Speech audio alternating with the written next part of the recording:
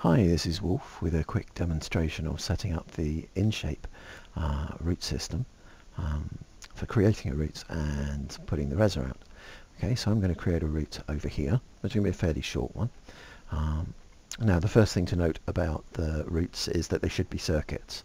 Um, needs to be a smooth transition as somebody goes around several times um, while they're exercising. So I highly recommend putting a marker on the ground where you start your route. Um, I've put a little prim plate out on the ground there. So I'm going to go and stand on that, and that's where I'm going to start my route. Okay, now the reason for that we'll come back to when we finish the route um, in a minute.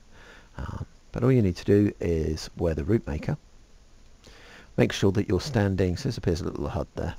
Um, make sure that you're standing on your starting point, um, and then you just click it to start, um, and start walking your route.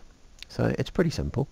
Um, it will support um, really long routes or you can make um, very short ones. Um, the longest I've tested it to is about 600 points over a six region route um, and it coped with that fine. I suspect it would do quite a bit more than that but that's as much as I've tested it to. So we're just going to do a short route through the trees here.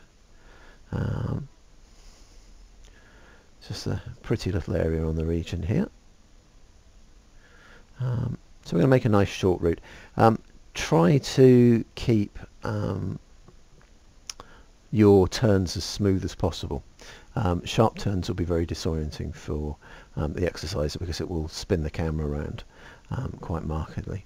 Um, so I'm going to walk around here. I've got property lines on here so I can see where the edge of the region is. It will do sim crossings without any problems but um, I just want to do a short route here. So again you can just see I'm sort of turning in little stages. So it keeps it, it actually looks more jerky as you're making it than it will do when you're actually travelling the route. But really sharp turns will be very disorienting for people. Okay, so you can see it's recording a number of points at the bottom there. So coming back to where we started, and you want to stop a little bit short. Okay, the reason for that is it will automatically cycle back to the start of the route again when you finish. Um, so if you if you make it off to one side or you overrun a little bit, it will jerk when it gets back round to start the lap again. Okay, so that's why we put the marker out and we stop just a little short of it. A metre or so is ideal. Okay, so we finished our route. We click this again. Um, it's now writing it to the note card, which takes five seconds. So there we go. Okay, and that's our route note card. Um, wait for that to load. It's not something that you can edit. Um, it's just full of sort of compressed coordinates and um, a little bit of header information at the start there, but that's what's inside the note card. We can call the note card whatever we want to, so I'm going to call this one test 3.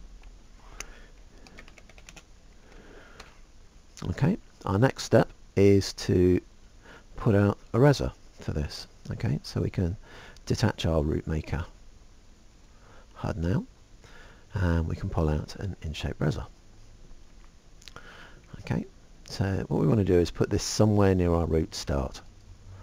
So I'm going to move that closer to this.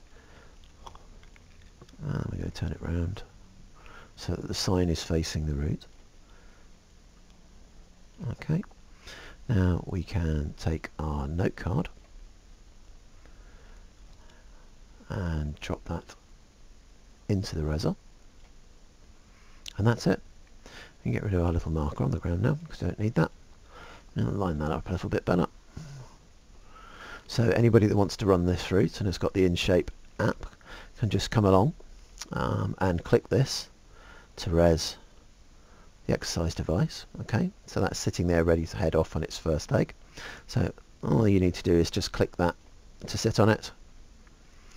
Okay, so that's playing around with our camera for us.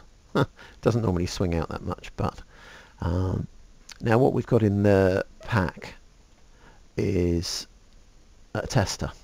Now I've got the InShape app on a mobile phone and I've got um, an exercise bike but for the purposes of this I want to show you how to use the tester to test your route if you don't have the application or you just want to see how it works. Okay, so this just lets you choose different exercises. Um, walk and run are the only ones we really need at the moment. There'll be other routes, water routes and that sort of thing coming along later. Um, so what we do is just make sure that we're on walk and then we click 1 to start us moving at that speed. So I'm not doing anything at this point. um, just walking the route. Um, I'll choose to walk a little bit faster. And test the route at different speeds.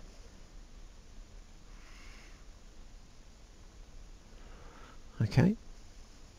It's not so easy to tell when we're looking at ourselves from behind, um, especially since the camera is smoothing all of the movements, not only the rotations, but sort of acceleration and deceleration gets smoothed. So it's harder to tell that you're walking at faster speeds on this, but you are.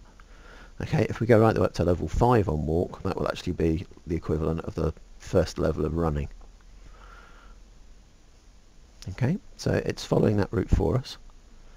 I'm not pressing any keys here. And this is what the application does.